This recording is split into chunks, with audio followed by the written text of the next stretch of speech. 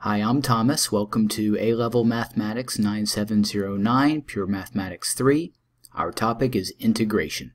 In this lesson, we'll learn about integrating an integrand whose integral is a function of inverse tangent of x. At the top of the screen, we have two integration rules. The integral of 1 over x squared plus 1 with respect to x is inverse tangent of x plus c. And a more general integration rule is the integral of 1 over x squared plus a squared with respect to x is 1 over a inverse tangent of x over a plus c. And it's the second rule that we'll use in both of our examples. Let's look at example 1, the integral of 1 over x squared plus 49 with respect to x. Algorithm step 1, identify function type. In this example, we see the general format of 1 over x squared plus a constant. Now that constant in this case is 49. We'll write in the general term a squared with respect to x. This tells us that we're dealing with an integral relating to the inverse tangent of x. So in step 1, we've identified the function type as inverse tangent of x. 2 apply integration rule. In our case, what we want to identify is the a squared. a squared equals 49. And to fit the format of the integration rule, we'll change this to 7 squared. And now rewriting the integral of 1 over x squared plus 7 squared with respect to x.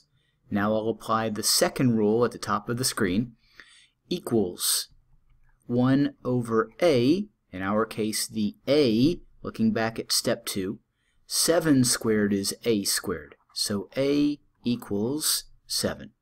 1 over 7 times inverse tangent of x over a, again a is 7, plus C.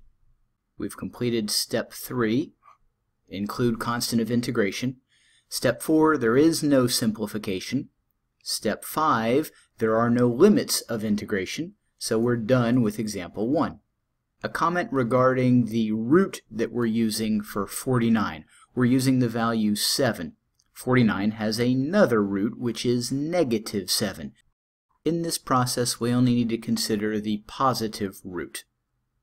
Moving on to example 2, the integral of 1 over 3x squared plus 5 with respect to x.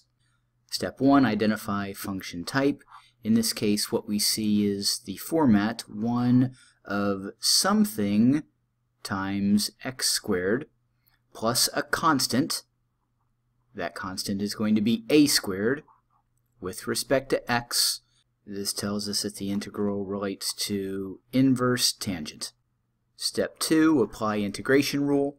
Because of the coefficient in front of the x squared term, I'm going to factor and rewrite my integral. I'll factor out 1 over 3, and I know I want to factor out 1 over 3 because the coefficient of x squared is 3. That 3 is in the denominator, thus 1 over 3. So rewriting our expression, Factoring out 3 from 3x squared leaves us with x squared. And factoring 3 out of the second term, 5, in other words, 5 divided by 3, is 5 over 3. With respect to x, now we can identify our a squared term. In this example, a squared is 5 over 3, and a is the square root of 5 over 3. Again, we're only considering the positive root of a squared. And I'll rewrite with my a term. 1 third times the integral of 1 over x squared plus a squared. a is the square root of 5 over 3 with respect to x and now applying our integration rule, we have 1 over 3 times, using the second rule at the top of the screen, 1 over a. a is root 5 over 3. Inverse tangent of x over a, which is x over root 5 over 3, plus c. This completes step 3. Step 4, simplify. We have 1 third times 1 over root 5 over 3 is root 3 over 5. Inverse tangent of x over root 5 over 3 is root 3 over 5x plus c. Step 5, there are no limits of integration, so we've completed problem 2.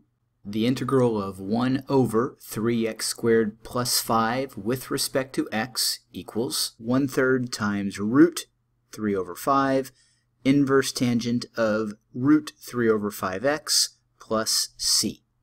We've completed problems 1 and 2. This concludes integration of an integrand whose integral is a function of inverse tangent of x.